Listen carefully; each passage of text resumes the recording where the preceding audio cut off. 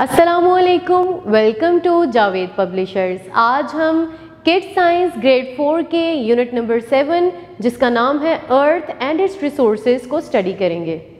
In this video we will be able to know the learning outcomes of this chapter so the first is what is earth हमारी ज़मीन क्या है?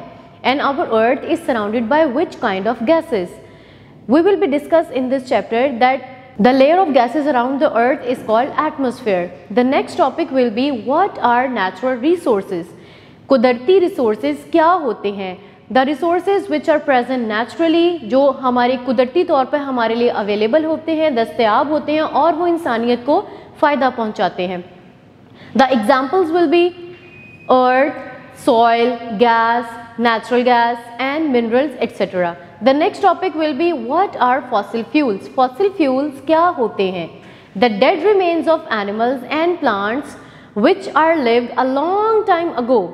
इंसानों और जानवरों या दरख्तों के वो फॉसिल्स जो बहुत साल पहले जो है वो ज़मीन में रह जाते हैं उनको हम फॉसिल फ्यूल कहते हैं then we will be able to discuss that where are they found वो कहाँ मिल सकते हैं? They are found in seas soils and rocks etc then we will be discussing that what are renewable and non renewable resources.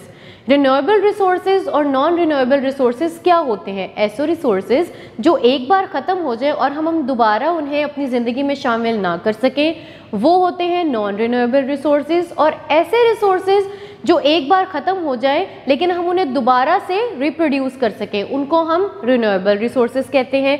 Then we will discuss that how our activities will affect these natural resources हम ये discuss करेंगे कि इंसानों की ऐसी क्या हरकत हैं, ऐसी क्या वजूहत हैं जिनकी वजह से ये नेचुरल रिसोर्स जो हैं वो डिस्टर्ब हो रहे हैं?